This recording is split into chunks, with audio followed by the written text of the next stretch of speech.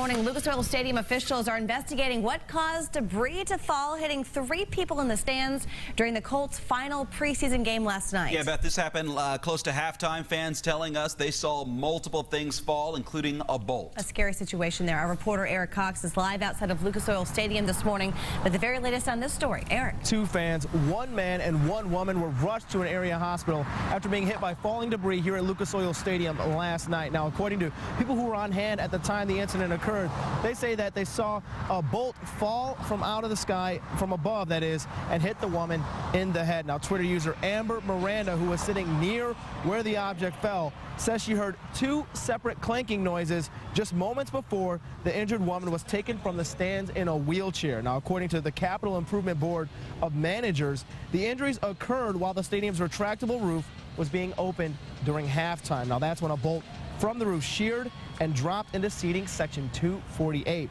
All the injuries sustained in the accident have been deemed non-life threatening, although this isn't the first case of fan injury inside of Lucas Oil Stadium. No, back in September of 2013, just two years ago, two fans fell from section 148 down onto the field level after a railing they were leaning on gave way. Now, coincidentally, that is the very same corner where last night's accident occurred here at Lucas Oil Stadium.